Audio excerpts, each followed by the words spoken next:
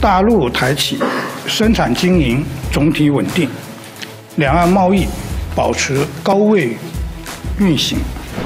据海关总署统计，二零二三年两岸贸易额为两千六百七十八点三六亿美元，保持高位运行。大陆稳居台湾最大贸易顺差来源地。据商务部统计，二零二三年一月到十一月，大陆新批准台资项目含经第三地转投资六千九百三十六个，同比增长百分之二十六点八，实际利用台资金额二十六点九亿美元，同比增长百分之三十九点九。